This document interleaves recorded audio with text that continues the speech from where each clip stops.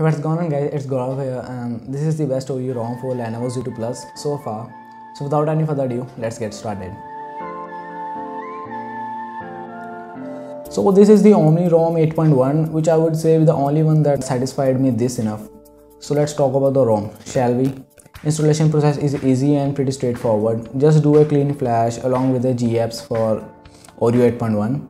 Thread link would be in description along with the files link but i but i faced a issue while flashing for the first time probably it's only me but i thought kind of mentioning it if you face an error saying like error 7 just flash the latest twrp image and it will be fixed thank me later so coming up to the ROM, the first boot wasn't that long surprisingly. The ROM packs up with a multiple customization features. Of course, it is a custom ROM. All condensed beneath the menu called Omni Gears. Opening up first we have style. It will decide the aesthetics of the ROM like UI style whether it will do dark or light or you wanna left it over the wallpaper to decide which one.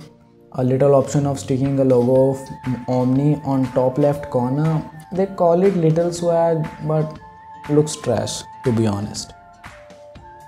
Below that we have buttons and yes we can enable navigation bars. I mentioned that because the Pixel ROM for Lenovo Z2 Plus doesn't provide it. So yeah. By the way those minimal navigation bars look sick.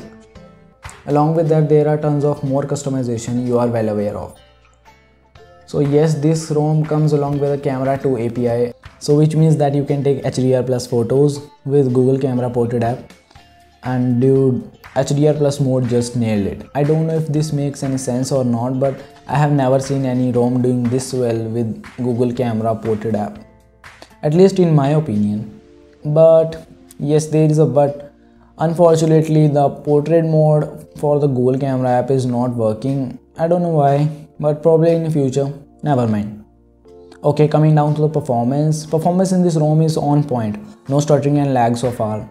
Opening up of apps multitasking memory management daily tasks or maybe heavy usage are not going to disappoint you. The gaming performance is on point too so the overall performance is smooth AF.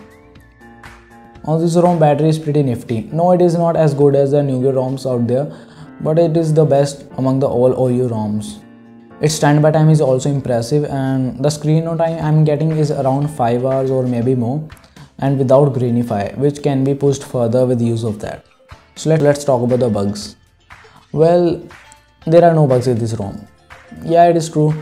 There are no bugs to an extent I would say but I promise you won't notice any bugs that will ruin your experience. This ROM is so far so good and I'm going to stick to this ROM from now because of the stability and the nifty features it have just for the while and I totally recommend you guys to install it.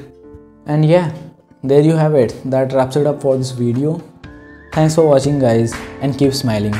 Peace.